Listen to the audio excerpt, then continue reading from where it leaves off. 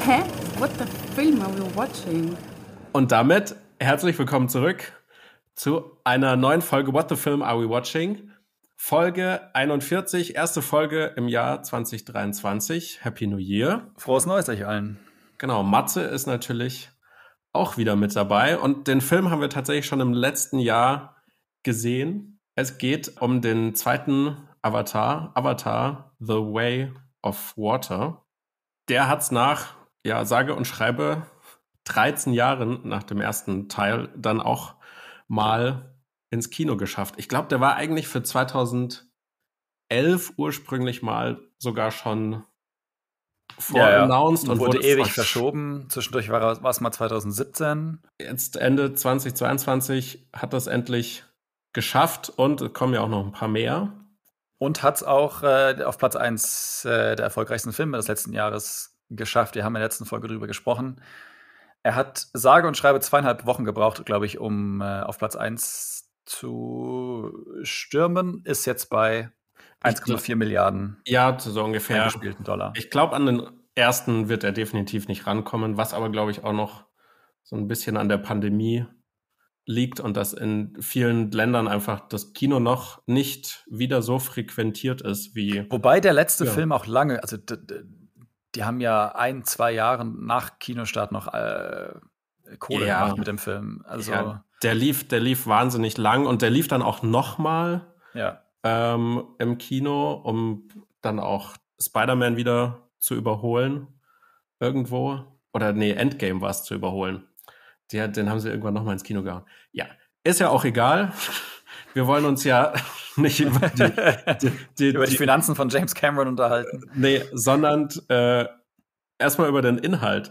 Wir sind wieder zurück auf Pandora, ein paar Jahre nachdem wir eigentlich den Planeten verlassen haben. Jake, zehn, Jahr, zehn Jahre, um genau Zehn Jahre, Dankeschön. Jake und äh, Neytiri haben in der Zeit eine Familie gegründet, haben ein paar Kinder und leben da auf Pandora. Die, ich wusste es gar nicht mehr, die Himmelsmenschen, also die Menschen, mhm.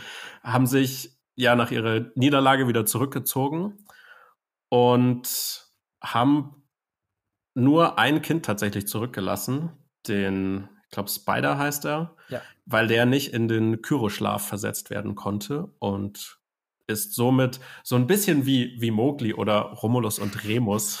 Er ist schon, um, um, er ist schon arger Tarzan-Verschnitt auch, ne? Also. Ja, oder ja. Ähm, wächst dann dort eben bei der Navi-Familie auf und ist so ein bisschen der Zögling.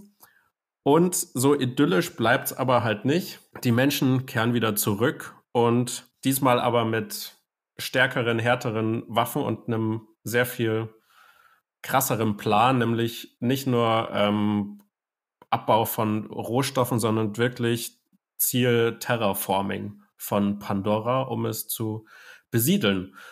Und das ist eigentlich die Story, um die es geht im zweiten Teil.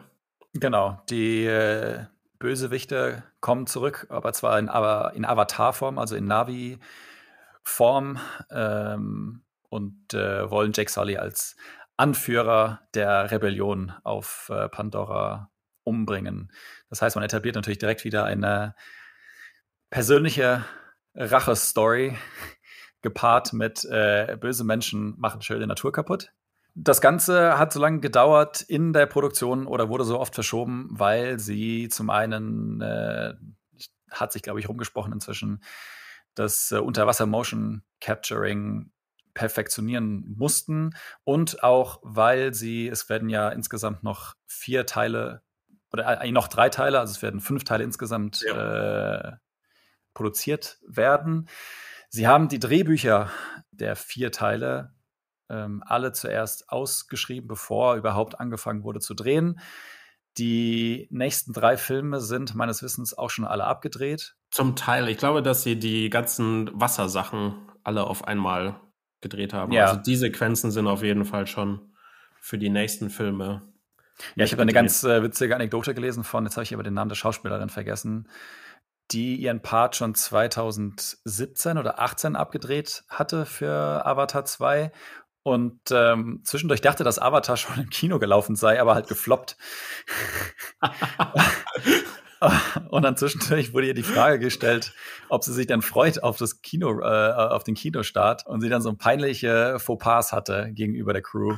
Ähm, ja, okay. Aber das kann natürlich passieren. Kann man, kann man während der Pandem Pandemie mal vergessen, dass man deswegen vielleicht nicht auf Kinotour ja. geht. ähm, der Film äh, ist, glaube ich, in so vielen Versionen wie noch nie ein Kinofilm ins Kino gekommen. Äh, 2D, 3D, ähm, IMAX, äh, HFR-Versionen. Englisch, Deutsch, was auch immer. Ich glaube, wenn man, ich, was ich gelesen habe, wenn man alle Versionen zumindest in Deutschland zusammenzählt, die irgendwie anguckbar sind, dann sind das die meisten, die ein Filmstart jemals hatte. Äh, wir haben ihn angeschaut in 3D HFR, sprich mit doppelter Bildrate, das aber auch nicht durchgehend, sondern ähm, nur für bestimmte Sequenzen. Und selbst innerhalb mancher Sequenzen wurde gewechselt zwischen normaler 24 Frames pro Sekunde Framerate und doppelter Geschwindigkeit. Äh, doppelte ja. Bildfolge. Und wir haben ihn auf Deutsch gesehen. Und wir haben ihn auf Deutsch gesehen. Ich glaube, das ist der erste Film, den wir hier den besprechen für den Podcast, den wir auf Deutsch gesehen haben. Ja, ich glaube auch. Wie fandest du das Dubbing?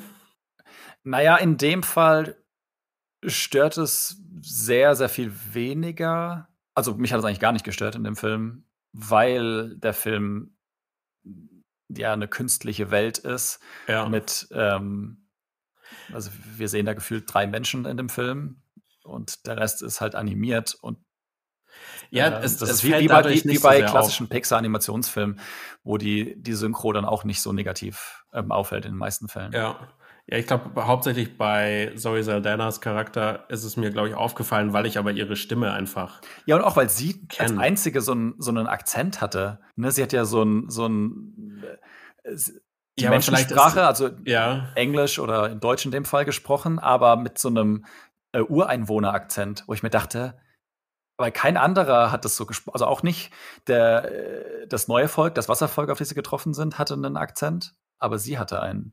Das ist mir so, gar nicht so aufgefallen. Ja, das fand ich, das fand ich tatsächlich ein bisschen befremdlich. Das weiß ich gar nicht, wie es im, im Englischen ist und wahrscheinlich ist es da einfach ein bisschen besser gespielt.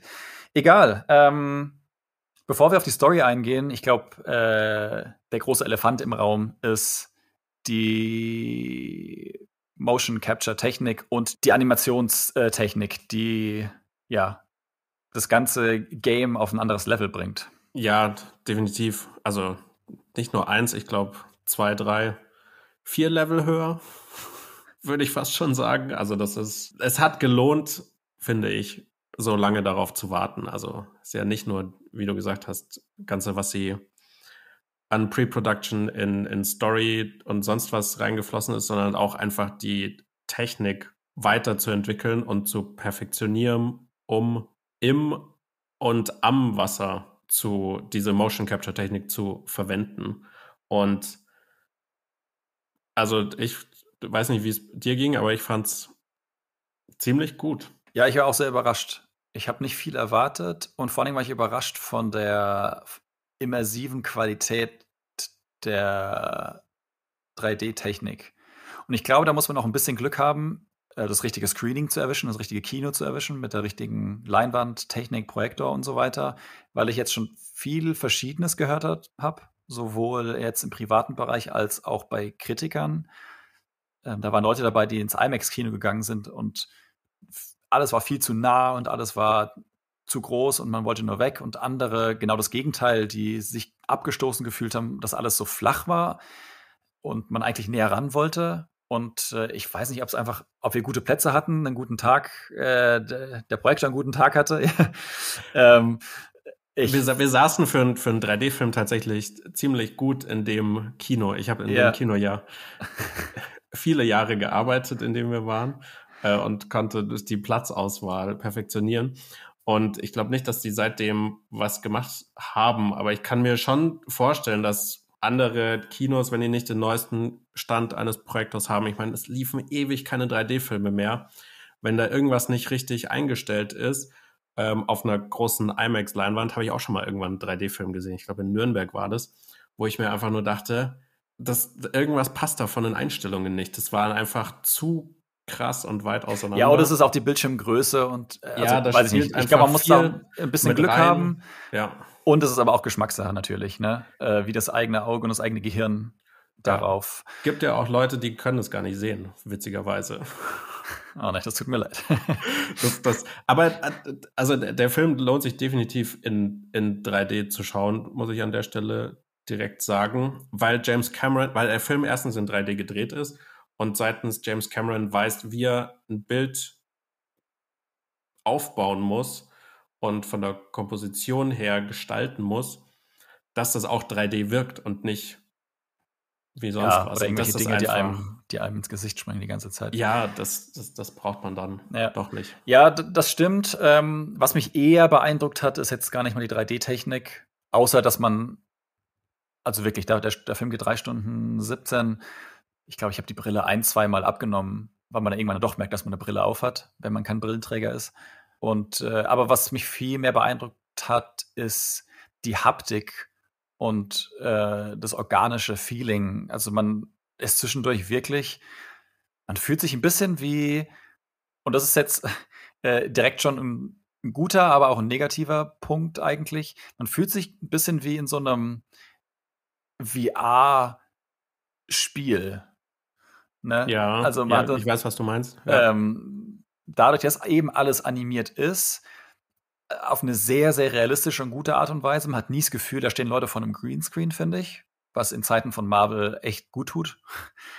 Und gerade, wir haben ja direkt am Kino schon drüber gesprochen, wenn man äh, Wakanda Forever gesehen hat, dann, äh, was ja auch Unterwasservolk hatte, ähm, dann kannst du den Film eigentlich so ein bisschen in die, in die Tonne kloppen, nachdem man es Avatar gesehen hat es war schon sehr immersiv und man hatte das Gefühl, wirklich auf Pandora zu sein zwischendurch. Also das muss ich schon zugeben einfach. Das hat immer mal wieder in den drei Stunden doch sehr beeindruckt, was sie da auf die Beine gestellt haben. Ja, und das liegt tatsächlich daran, dass sie ja nicht, also das ist ja nicht alles CGI und Motion Capture Technik, sondern es gibt ja auch immer wieder Sachen und auch zum Beispiel das Wasser, das zum Teil einfach echt ist, mhm. weil sie einfach wirklich unter Wasser, am Wasser, im Wasser gedreht haben mit den krassesten Techniken. Ich meine, alleine der ähm, Weltrekord von Sigourney Weaver mit über sieben Minuten. Kate Winslet. Kate Winslet, Entschuldigung. Kate Winslet hat, hat, Tom, hat, Tom, Cruise ja. äh, Weltrekord gebrochen. Ja, da habe ich mir falsch notiert. Es war Kate Winslet, über sieben Minuten. Alter, das ist einfach Luft anhalten und unter Wasser drehen. Und das haben ja alle trainiert und unter mhm. Wasser gedreht. Einfach, dass es auch dieses, und dadurch fühlen sich auch diese Bewegungen von denen so natürlich an unter Wasser äh, und eben nicht animiert, weil du es nicht eins zu eins immer noch nicht, finde ich, rekreieren kannst. Von daher auch da, also bildtechnisch war das krass wieder in diese Welt einzutauchen und, und auf der Leinwand zu sehen. Und das ja. war nicht ohne. Jetzt sind äh, knapp drei Wochen, glaube ich, vergangen, seitdem wir den Film gesehen haben. Was bleibt dir hängen? Würdest du noch mal reingehen? Wenn man jetzt ein bisschen Abstand hat von, dem, von diesem Kinobilderlebnis, was bleibt übrig von Avatar 2? Ich, nee, ich würde nicht noch mal reingehen. Also, ich würde mir, glaube ich, lieber den ersten noch mal angucken. Im Kino, weil ich ihn nie im Kino gesehen habe muss ich gestehen. Ich habe den irgendwann mal in der Schule auch auf einer größeren, größeren Leinwand gesehen, aber nie im Kino tatsächlich.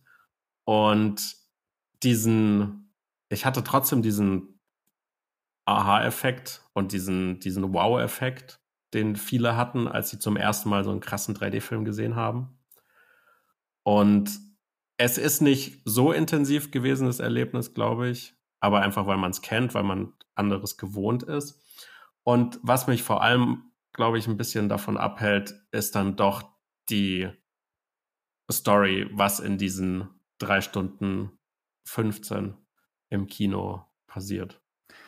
Ja, es dauert nämlich über eine Stunde, bis wir da ankommen, wo der Film seines Titels nach auch ankommen will, nämlich am Wasser. Äh, wir verbringen eine gute Zeit damit, dass äh, Jake und seine Familie erstmal angegriffen werden, flüchten müssen. Der ganze Stamm ist in Gefahr und deswegen beschließen sie abzuhauen und die Gefahr von dem Stamm abzuwenden. Kommen dann erstmal an äh, bei diesem neuen Volk. Dann hat man so ein ganz großes Déjà-vu von ne, sich einem neuen Volk anpassen. Das, was Jake vorher als Mensch und als Avatar quasi gemacht hat, ähm, Ja. äh, müssen sie jetzt als Familie da machen. Sie werden als Außenseiter ein bisschen belächelt, sie sehen anders aus. Äh, sie müssen anstatt jetzt Flugdrachen Wasserdrachen reiten lernen. Und äh, man hat da so ein ganzes, ja, um in dem Videospielbereich zu bleiben, so ein ganzes Tutorial eigentlich. Äh, wie schwimme ich unter Wasser, wie kämpfe ich unter Wasser und so weiter und. Was muss ich beachten, damit ich hier überlebe? Sprache, was weiß ich. Ja, so fühlt sich der Film dann doch zwischendurch sehr dokumentarisch an. Ja, das habe ich auch irgendwo, hat das jemand gesagt, wenn du eigentlich so die Story rauslässt, dann könnte das einfach nur eine geile Doku über Pandora sein. Einfach einen fiktiven Ja, so ein bisschen wie so eine. BBC Earth äh, Pandora äh, Version Doku, das stimmt, ja. Und das gepaart einfach mit einer, also, also ich finde allgemein, also die, die, die reißen ja schon irgendwo Themen an, die, finde ich, interessant sein könnten. Und klar, dieser, ich glaube, Schutz der Natur und unserer Umwelt ist immer noch, wie auch beim ersten Teil, das vorherrschende Thema. Es geht so ein bisschen Walfang, Thematik kann man rein interpretieren und überhaupt dieses, dass der, der Kreislauf des Wassers ähm, ist ja eigentlich auch ein bisschen die Message am Ende, äh, unser ganzes Leben bestimmt. Und, und das, glaube ich, soll auch, auch durchkommen. Es ist ja schon irgendwo schön, aber es ist, weiß ich nicht. Ja, es ist so- halt wieder dieses, also es greift ja das von Teil 1 wieder auf, die Verbundenheit zur Natur und eine Rückbesinnung und das, was den Film ja so schön und äh, nahbar machen soll, dass man, ähm, wir alle wünschen uns eigentlich weg von Technik und äh, ne, wieder mehr eins zu sein mit uns selbst, mit unseren Mitmenschen und mit unserer dieses- Natur. ja, und dass er dieses äh, Spirituelle, was Teil 1 hatte, kommt in Teil 2 natürlich wieder vor.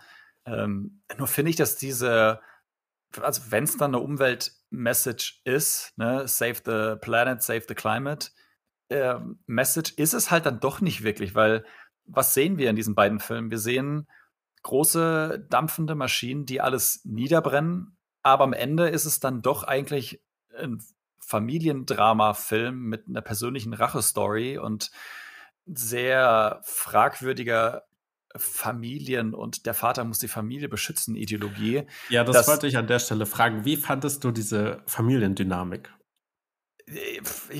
Also, es war wahnsinnig redundant, wie oft Jake Sully diesen Satz sagt, dass er die Familie beschützen muss und dass er die Entscheidungen trifft und deswegen müssen sie gehen und eigentlich will keiner gehen, aber der, der Vater ist der starke Mann und ähm, äh, dann haben wir den Sohn als Rebell, der bestimmt zehnmal in diesem Film in die gleiche Situ- Situation gerät. Der Vater sagt ihm was, was er nicht machen darf und er macht es dann natürlich, wo man schon während des Films irgendwie die Augen verdreht, weil, ja, okay.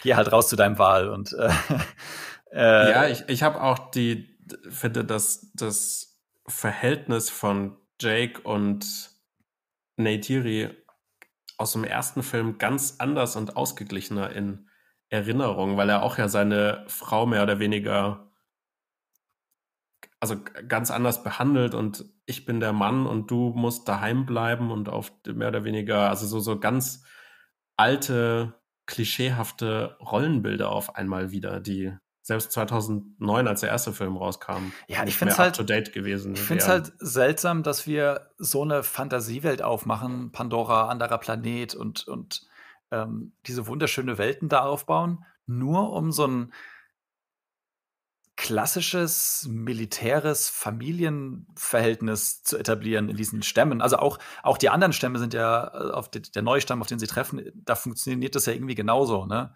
Die haben ja auch diese Eltern, äh, Kinder, äh, Ja. Und Problematiken irgendwie, wo man sich zwischendurch äh, fast schon irgendwie bei RTL und irgendwie die Super Nanny so Ja, es ist so, aber so ein anderer Planet, aber eigentlich funktioniert alles gleich.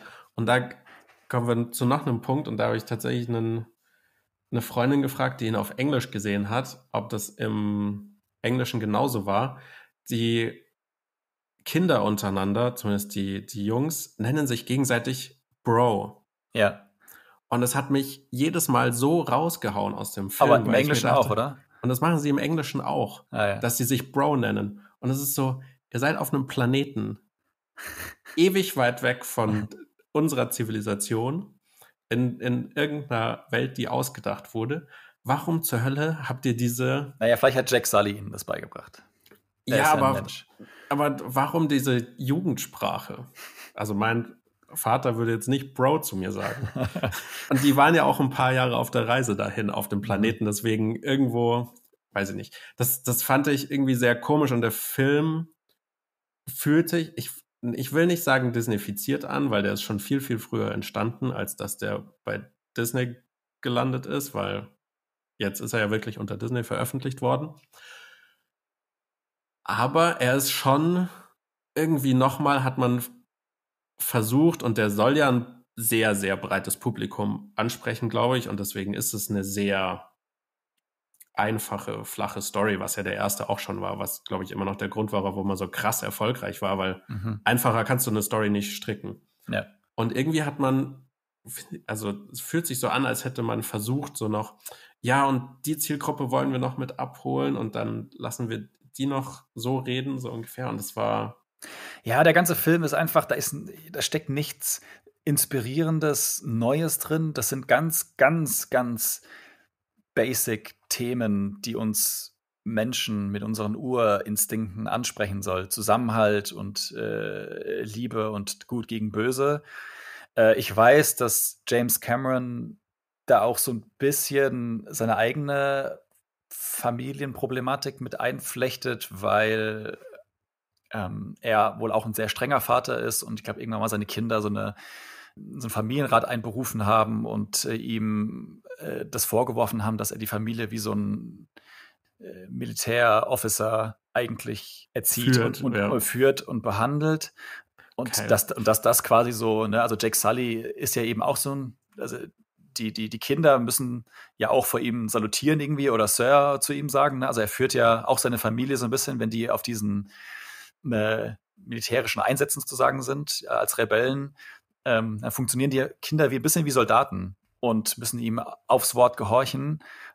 Und am Ende des Films, äh, sein älterer Sohn stirbt ja zuerst und er macht sich ein bisschen dafür verantwortlich und sein jüngerer Sohn hat dann den Durchbruch sozusagen und am Ende sagt er zu ihm, I see you. Ne, er hat jetzt verstanden, wer er ist und warum er so rebellisch ist und dass er eigentlich ein toller Charakter ist und dass er als Vater das ja auch falsch gemacht hat. Ne? Also Jake Sully macht da so eine kleine Entwicklung durch und das ist Ja, vielleicht durch, was Persönliches von James Cameron, was da drin ist, aber äh, ich meine, who cares, weißt du?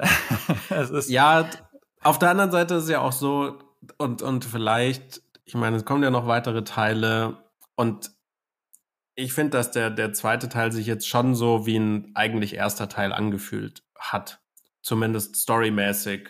Das sind viele neue Story Arcs begonnen worden und so als wäre der, der Aufbruch nach Pandora der erste Film eigentlich ein Prolog gewesen, um diese Welt und diesen Planeten nur einzuführen. Und das hatte ich tatsächlich rückblickend so ein bisschen. Und jetzt geht halt die eigentliche Geschichte los über die nächsten vier Teile. Ja, ähm, aber seien wir ehrlich, eigentlich ist die zwei, also es wiederholt sich ja nur in Teil 2, was in Teil 1 passiert haben. Also der gleiche Bösewicht kommt zurück, es findet der gleiche Endkampf nochmal statt, ähm, mit dem Ergebnis, dass beide überleben.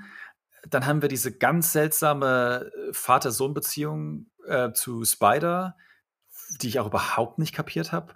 Ah, gut, ich drifte kurz ab, aber ich wollte eigentlich nur den, den Bogen fertig machen. Dass, dass, alles gut. dass, dass der Film eigentlich am Ende dieser drei Stunden genau da steht, wo er bei Teil 1 auch schon gestanden hat. Also die, Ja, es hat sich die, die, die, definitiv- die Menschen wurden erfolgreich bekämpft. Äh, Also sie werden diesmal nicht abrücken, das ist klar, weil sie jetzt schon ihre Stadt dahin gebaut haben und alles. Ähm, aber es fühlt sich einfach, also wir haben das gleiche nur im Wasser gemacht. Ja, also d- den Sinn dahinter verstehe ich auch nicht. Definitiv nicht. Und klar, da kommen noch drei Filme hinten dran und angeblich soll einer der Filme ähm, ne, wir werden jetzt natürlich auch die verschiedenen Klimazonen von Pandora abdecken, Feuer, Ja. Wasser, Eis und so weiter. Dass auch irgendwann, ich glaube, das Feuervolk auf Pandora wird dann in Teil 3 oder 4 ein böses Volk sein, das, wo sich dann die Navi gegenseitig bekämpfen, damit es nicht immer nur gute Natur, Naturvolk gegen böse Menschen ist. Civil War. Ja, Groundbreaking. Aber ja, das, tatsächlich habe ich auch, also der, der dritte Teil soll dieses Volk tatsächlich etablieren und macht ja auch irgendwie Sinn. Es ist ja nicht nur, es sind ja nicht nur die beiden Völker der Navi betroffen von dem Ganzen.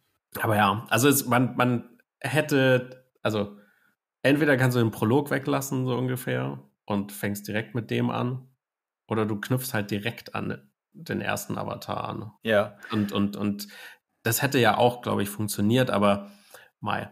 Ja, also ich muss echt rückblickend sagen, dass die einzige Figur, die mich wirklich irgendwie interessiert hat, ist die Figur von Kiri, gespielt von witzigerweise Sigourney Weaver. Eine über 70-Jährige spielt eine Teenagerin per Motion Ja. Ähm, die ja so das eine zeigt einfach die, und das finde ich mega geil, die, die zukünftigen Möglichkeiten einfach in Hollywood, muss ich sagen. Also das sind halt- Ja, also, aber andererseits fühlt sich auch angeht. also seltsam an, weil ich finde, Echt? wenn man, also in dem Wissen, dass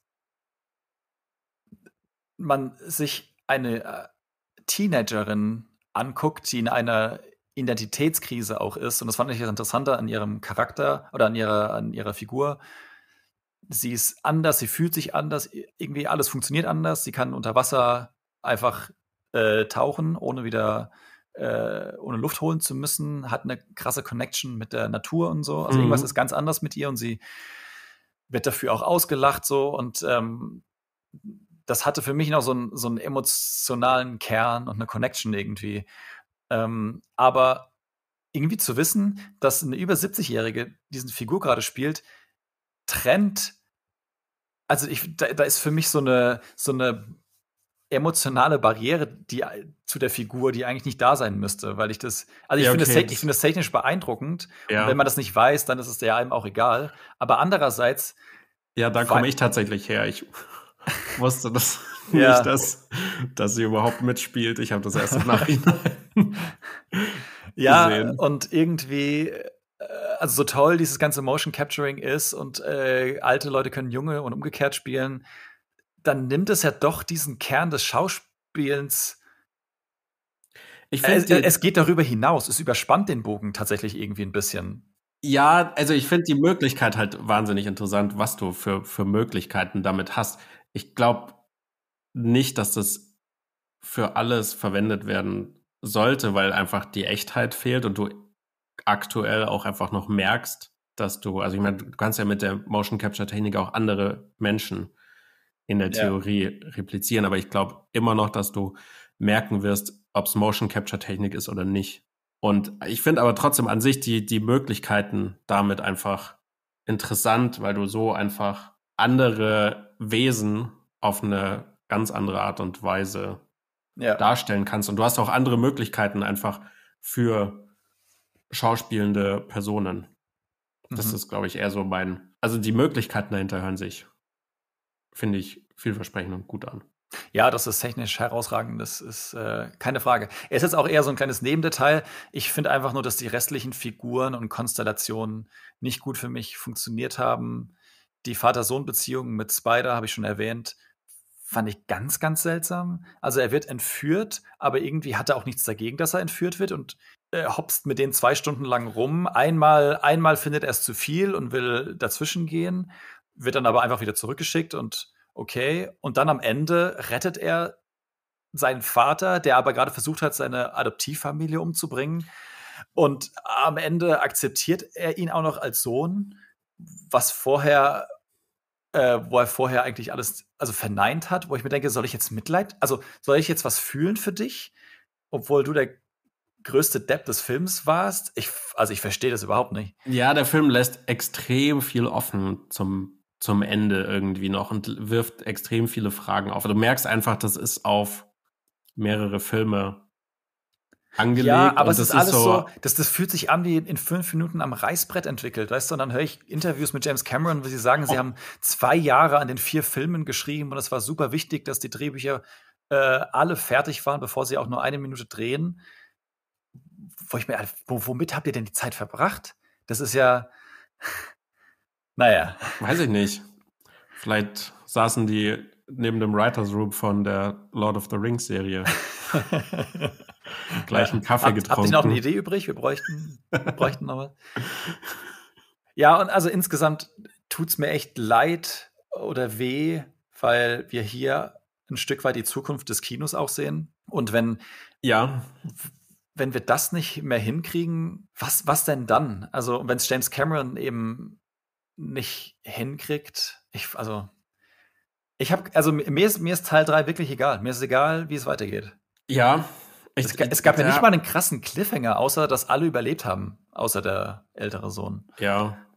Aber also, ich meine, der dritte Teil ist schon geschrieben, zum Teil abgedreht, vierter, fünfter auch. Was würdest du dir von einem dritten Teil wünschen? Also in einer idealen Welt würde ich mir wünschen, dass der Film irgendwie alles auf den Kopf stellt, der nächste Teil. Also, ich- aber das wird nicht passieren. Aber äh, so ein Prozent von mir hofft, dass James Cameron uns alle verarscht mit diesem Film und dann im nächsten Teil einfach alle Konventionen und Standarddenkerei bricht und diese Gut- und Böse-Schablone irgendwie umkehrt oder so. Ja, die Möglichkeit besteht, mit einem dritten Navi-Volk, einem Feuervolk, das vielleicht zu machen, aber vielleicht ähm, behält er sich das auch bei, genauso wie seine Papyrus-Schrift, die sie zumindest ja im Logo geändert haben. Ja. Aber die, die Untertitel waren immer noch die gleiche Font. Falls ihr nicht wisst, auf was ich anspiele, es gibt einen sehr, sehr schönen Saturday Night Live Sketch Mit Ryan Gosling. Unbedingt genau. anschauen. Über die Schriftart des Avatar-Logos. Ja, ähm, deswegen mein Fazit zu diesem Film ist einfach, also ich gebe zu, dass ich in diesen drei Stunden doch sehr fasziniert war. Es war immersiv und man hat sich irgendwie doch ganz gut unterhalten gefühlt. Aber sobald man die Brille absetzt und geht, also ich persönlich, habe den Film einfach komplett abgehakt danach. Das war nichts, was nachgehalt hat. Ne, also gerade nach drei Stunden, der teuerste Film, teuerste Produktion aller Zeiten. Ähm, der Film muss zwei Milliarden einnehmen, damit er rentabel ist. Und es ist die Technik der Technik im Moment. Da muss ich doch nach Hause gehen und äh, von Pandora träumen eine Woche lang. Und das ist einfach nicht eingetreten. Ja, so eine Woche von den Bildern habe ich jetzt nicht geträumt, aber also technikmäßig, bildmäßig hat er meine Erwartungen, glaube ich, sogar einen Ticken übertroffen, aber ich bin auch einfach nicht mit großen Erwartungen rein, weil ich Mhm. nicht viel Story erwartet habe. Ich finde, dass er mehr Story hatte, zumindest eine komplexere als der erste. Weil mehr Figuren untereinander Ja. halt agieren. heißt noch nicht, dass sie besser war, aber allein die, die, diese Bilder und diese, ja, Immersivität des Films lohnen sich halt dann irgendwie trotzdem, das Ding in einem ordentlichen Kino in 3D anzuschauen irgendwie, weil es halt einfach, also technikmäßig gerade das Nonplusultra Ja. ist und der Status quo. Ja, aber sonst vieles fühlt sich einfach nach Spielerei an, trotz dieser gewollten Ernsthaftigkeit der Story und gewollten Emotionalität und Emotionalisierung der Charakter. Aber zwischendurch haut Cameron dann doch wieder irgendwelche Krabbenroboter ein, die dann auf Wahljagd gehen. Also auch so eine paradoxe Szene, weil diese Wale intelligenter sind als Menschen, als die Navi und ähm, ja, wie heilige Wesen auf diesem Planeten sind und dann gejagt werden für ihre komische Substanz aus dem Hirn. Stimmt, das ist ja auch Und- noch irgendwie dieser, das wird ja auch nur so am Rande erklärt, warum sie dann so dieser Substanz, das ist mir gerade erst wieder eingefallen, Ja, warum sie die überhaupt töten, die Wale. ja, und das wird ja dann natürlich hergenommen als, ähm, guck mal, da kommen böse Menschen, die die Umwelt wieder kaputt machen. Aber andererseits findest, hat James Cameron auch ein bisschen Spaß dabei, seine, seine coolen Roboter auszupacken, die dann auf Walfangjagd gehen und Action-Szenen zu drehen. Das geht ja eine, eine halbe Stunde lang, diese, diese Wahljagd wo ich mir denke, ja, aber James, du findest es ja schon ein bisschen geil auch, was du eigentlich kritisierst, ne? Und, und, und so hat man, so empfindet, oder habe ich den Film öfter mal in diesem Aspekt empfunden. Also viel Kritik und er will irgendwie mit einer total globalen menschlichen Message kommen, aber irgendwie findet er es auch ziemlich geil, dass da gut aussehende blaue Aliens äh, durch eine richtig gut animierte Welt laufen. Ja. Ich muss sagen, ich glaube, es ist einer der wenigen Filme, wo ich auch von ihm keine Lust auf einen Director's Cut hätte, sondern eher auf einen, auf einen Doku-Cut. Dann würde ich ihn mir nochmal Radio anschauen. Edit. Ja. Hast du noch abschließende Worte, Gedanken, die du mit uns teilen möchtest? Nee, ich habe alles gesagt, was ich zu diesem Film zu sagen habe. Sehr gut. Ich auch. Wenn ihr den Film gesehen habt, wie fandet ihr ihn? Ihr könnt sehr gerne eure Meinung und Gedanken mit uns austauschen. Wir haben nämlich sowas wie Social Media Kanäle. Da findet ihr uns auf Instagram oder Twitter mit dem Kürzel WTFAWW-Podcast oder ihr könnt uns auch sehr, sehr oldschool eine Mail schreiben an arewewatching at mail.de. Vielen Dank fürs Zuhören und wir hören uns in der nächsten Folge. Vielen Dank, wir hören uns. Hä? Seid ihr schon fertig?